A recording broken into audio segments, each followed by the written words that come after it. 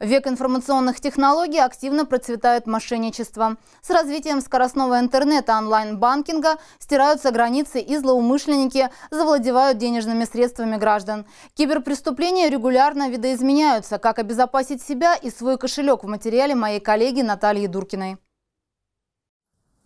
Из-за специфики нашего региона жители осуществляют покупки в большей степени в онлайн-магазинах, в особенности таких как Авито, Циан, Юла и так далее. Там мошенники предлагают товар по низкой стоимости, и покупатели вступают в сделку. Прежде чем совершать покупку, необходимо проверить принадлежность номера телефона продавцу и посмотреть отзывы о нем.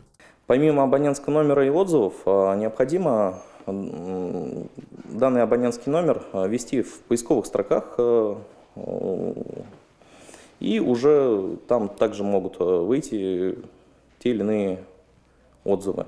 Ну и, соответственно, в ходе телефонного разговора э, обращать внимание на все нюансы, э, с кем вы разговариваете, по голосу определить,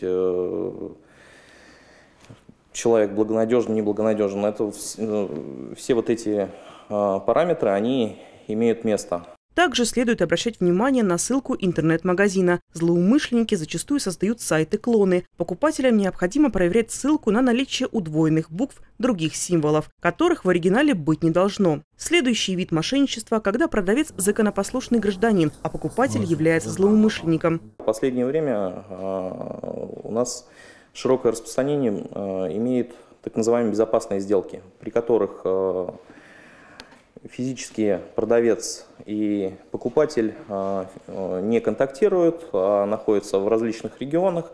И для осуществления оплаты покупатель якобы направляет э, ссылку на безопасную, безопасный перевод денежных средств. В данном случае также нет э, ни в коем случае не стоит бездумно переходить по данным ссылкам. Один из популярных видов мошенничества происходит через социальные сети. Пользователи переходят по ссылкам с опросами и теряют доступ к своей странице, которой завладевают киберпреступники. Далее мошенники отправляют сообщение списку контактов с просьбой отправить деньги, так как кто-то попал в беду или просто нужно выручить. В данном случае э, что необходимо? Э, когда вы получаете такое сообщение, э, свяжитесь с владельцем страницы в социальной сети. Убедитесь том, что э, с какой целью он занимает денежные средства, если вы готовы выдать данную сумму, а, что случилось, э, если это какая-то беда. И вы уже э, сразу пресечете на данном этапе противоправных действий, совершение противоправных действий в отношении вас. С подобными просьбами злоумышленники могут также позвонить на ваш личный номер телефона, представившись сотрудником полиции или знакомым. Ни в коем случае не переводите денежные средства. Не менее известный вид мошенничества – якобы блокировка банковской карты или предотвращение транзакций денежных средств. Что нужно помнить всегда – сотрудник банка ни в коем случае не будет звонить по таким поводам. Банки э, блокируют э, данные операции сами, э, впоследствии уведомляя через смс-информирование, либо посредством онлайн-приложений о том, что те или иные операции заблокированы. Что делают в данном случае мошенники? Мошенникам необходимо завладеть помимо того, что реквизитами счета вашей банковской карты, необходимо также зачастую им подвести.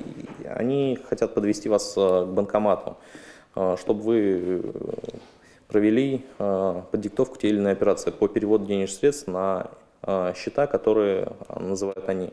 Необходимо прекратить дальнейшее общение с мошенниками и позвонить в свой банк, рассказав всю информацию, полученную от злоумышленников. По статистике, только 30% дел, связанных с мошенничеством, раскрывают. Жители регионов в прошлом году распрощались более чем с 5 миллионами рублей. Будьте бдительны, не позволяйте мошенникам вас одурачить. Наталья Дуркина, Антон Бодряков, телеканал «Север».